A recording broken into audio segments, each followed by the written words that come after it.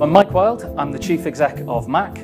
Uh, Macc is the support organisation for all the charities and voluntary groups, community organisations, sports clubs and social enterprises dotted all around the city of Manchester. There are over 3,000 in this city alone. And they do everything from sports clubs to after school clubs. They look after old people through befriending schemes. They look after people with mental health problems. They do museums and galleries all kinds of stuff is going on around the city all the time. There are people walking past me now who are probably volunteers in many of those organisations. We know there's over 100,000 people working in all those groups all throughout the year. The voluntary sector is like the air, it's all around you. One of the things Macc does every year is the Spirit of Manchester programme. And that's where we celebrate all that stuff that's happening all around you. Uh, the main thing that you'll see from that is the thing that we call the Spirit of Manchester Awards. We set a number of categories, and they're things like Volunteer of the Year, Campaign of the Year, Contribution to the Voluntary Sector. And then we ask people to tell us great examples of what they're doing. Working with businesses, working together in partnership, supporting people who use services, all those different things. We get all those nominations in, and then a panel of judges sits and decides which ones are going to go on the shortlist. We don't make any of those decisions. Once we've set the categories, it's over to everybody else who's involved.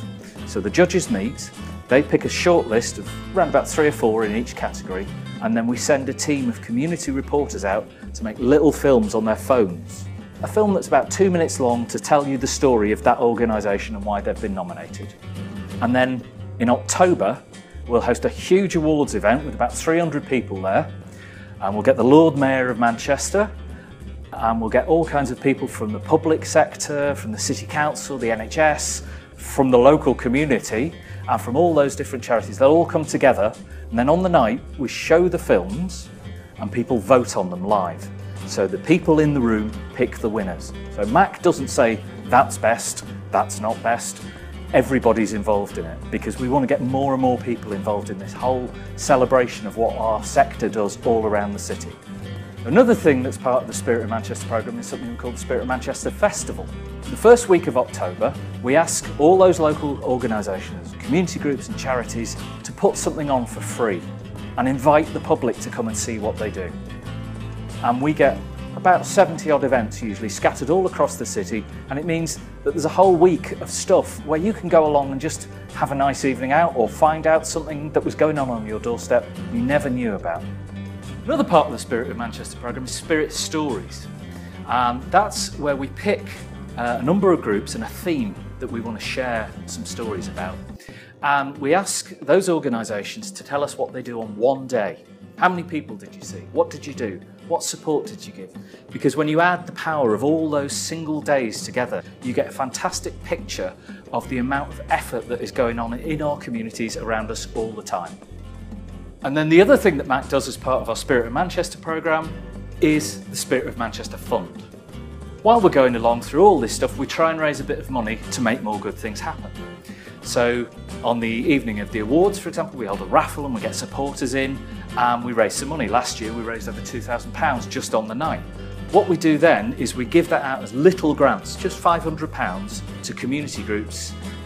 This year we're doing it around collaboration, trying to get groups working together and between them they can make more good things happen. But the Spirit of Manchester isn't just about what the charities and community groups do. It's also about partnerships, working with lots of local businesses. Many of the businesses around here are involved in doing something good in the local community. We want to encourage that. So, I hope that's given you a flavour of what the Spirit of Manchester is all about, what it looks like and feels like, but the best way to experience it is come and get involved. You can find us on Twitter, you can find us on Facebook, uh, you can find our website. Uh, above all, the best thing is come and see it for yourself because there is so much great stuff happening all around us in this city why don't you come and join in?